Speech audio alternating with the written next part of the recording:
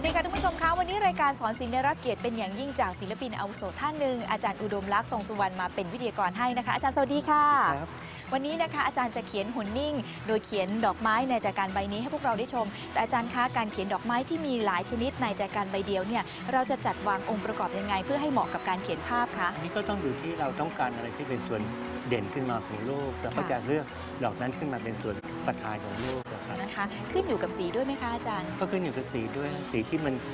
มันจะต้องสัมพันธ์กันระหว่างสีต่อสี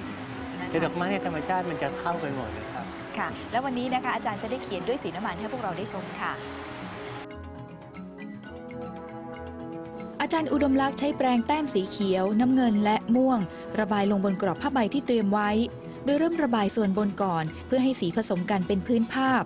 จากนั้นจึงเริ่มร่างภาพ โดยการใช้ผ้าพันที่นิ้ว แล้วเช็ดสีออกให้เป็นโครงร่างของภาพ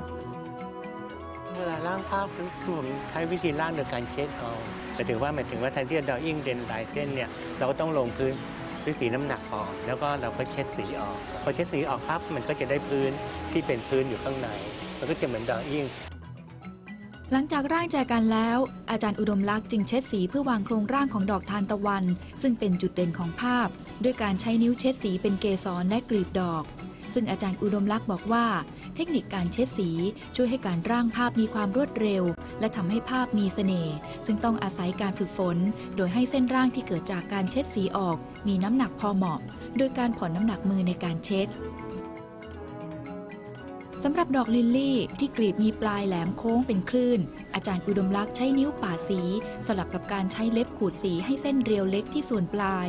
จากนั้นจึงเช็ดสีเป็นดอกปักษาสวรรค์ และใบไม้ที่จับประดับในแจกันด้วยวิธีเดียวกัน อาจารย์อุดมลักษ์เริ่มลงสีแจกันโดยใช้สีเขียวหลายเฉด ระบายผสมลงบนแจกัน และใช้สีฟ้าอ่อน ระบายให้เกิดแสงที่เป็นเงาสะท้อนจากแจกันกระเบื้องเคลือบ จากนั้นจึงลงสีโดยใช้สีเขียวแก่ลงสีใบไม้ และใช้สีขาวแกมเขียวอ่อน ลงสีดอกตูมของลิลลี่ แล้วจึงใช้สีชมพู ระบายเจือสีที่ปลายดอก ก่อนที่จะระบายสีดอกตูมดอกอื่น ๆ ด้วยสีและวิธีเดียวกัน เมื่อลงสีดอกตูมครบทั้งหมดแล้ว จึงลงสีดอกทานตะวัน โดยใช้สีน้ำตาลและเหลือง ลงสีเกสรดอก และใช้สีเหลือง ระบายสีกลีบดอก ทับลงบนส่วนที่เช็ดสีออก พร้อมทั้งระบายสีส้มเจือที่ชั้นในกลีบดอก แล้วจึงลงสีดอกทานตะวันดอกที่ 2 และ 3 ตามวิธีการเดิมจนครบทุกดอก โดยดอกที่ 2 และ 3 จะแสดงรายละเอียดน้อยลง จากนั้นจึงหันมาลงสีดอกลิลลี่ โดยใช้สีขาวแกมเขียว แตะสีที่ใจกลางดอก และระบายสีกลีบดอกด้วยสีชมพูอมม่วงทั่วทั้งกลีบ จนครบทุกกลีบ ในลักษณะการบิดข้อมือ ลากพู่กันตามรอยอย่างเป็นคลื่นของกลีบดอก แล้วจึงเติมเกสรด้วยสีเขียวและม่วง ก่อนที่จะลงสีดอกลิลลี่ดอกอื่น ๆ ในลักษณะเดียวกันพร้อมทั้งลงสีดอกปักษาสวรรค์ด้วยสีส้มและแดง ตามรูปทรงที่เรียวแหลมของกลีบดอก คือเราจะเอา feeling เนี่ยมันดู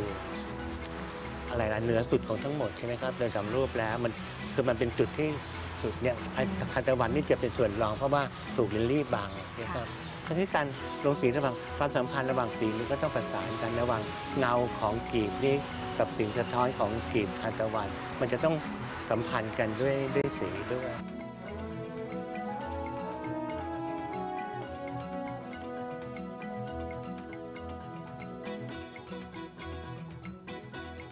ตอนนี้งานก็เสร็จเรียบร้อยแล้วแล้วค่ะท่านผู้ชมคะและก็เป็นภาพที่สวยงามมากๆเลยละค่ะ แต่อาจารย์ขาการที่เราจะเขียนภาพที่มีรายละเอียดเล็ก ๆ อย่างเช่นกลีบดอกไม้เนี่ยมันจะเหมาะสำหรับการใช้ผ้าเช็ดในตอนต้นไหมคะ ก็เหมาะครับเพราะว่ามันมันสามารถพลิกนิ้วเราได้ที่จะเช็ดให้เป็นรูปร่างยังไงค่ะ แต่ถ้าเล็กกว่านี้ก็คงจะไม่เหมาะนะคะครับค่ะเอาละค่ะวันนี้ก็ต้องขอขอบคุณอาจารย์อุดมลักษณ์มากๆเลยนะคะขอบคุณมากค่ะ